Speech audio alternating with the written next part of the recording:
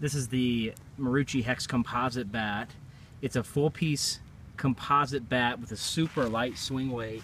Uh, we've had a ton of fun with this bat this year. We've we've hit it all the time. Uh, the kids seem to really like it. They like uh, the fact that it feels super light, has a really nice sound to it. This is the 2919, um, and uh, this is the first year they've come out with a bat like this. Um, be interesting to see if they come out with another one for 2016. Um, but we've had a lot of fun hitting with this bat, uh, and a lot of people say that it's their favorite bat that they use, especially those kids who are okay with a little bit of hand sting, but but appreciate the power that comes with a one-piece composite. This bat's nice and worked in. We also have a really famous and mostly illegal called a Combat B1 bat. We're to do sort of a pit these two bats together off of a tee and just get some bat speeds out of it.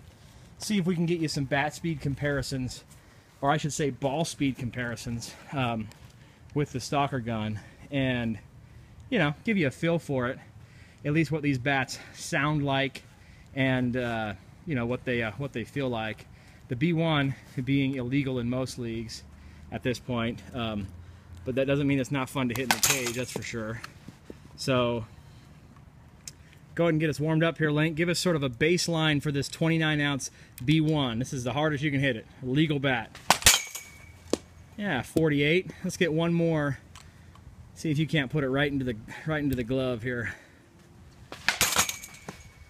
Nice, that was 58. Let's let's do one more. That seems a little uh, uh, sometimes these guns aren't perfectly accurate. Let's just prove that model again. 58's hot.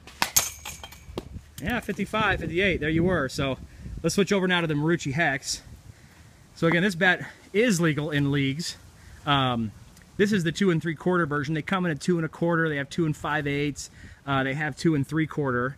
Um, and then of course, they have all their drops. Um, their, their, their drop is, is in a drop 10 uh, with the two and five eighths or two and three quarter bat, um, which is which is good.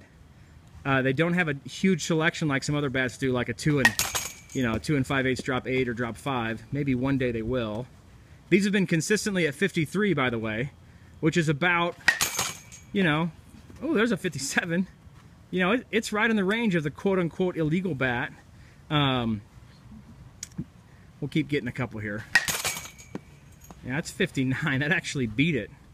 Um, I sometimes struggle with uh, making big predictions based just on bat ball exit speed, especially in a test like this. This is not, this isn't super controlled, um, but it's still fun. To, it's still fun to kind of get a feel for it.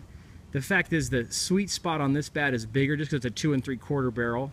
That two and five eight, or excuse me, the two the two and one quarter B1 bomb bat that's just two and a quarter, so you get a little more leeway in this bat to hit it right. And these two bats aren't very comparable. Again, one's illegal, one's legal. Um, it's just kind of fun to get a baseline just so you can see how this bat looks and feels in a 29 20 uh, in a 29 19 good feeling bat link Yeah. good looking swings man drill this one last one for the ages Yeah, 56. That works.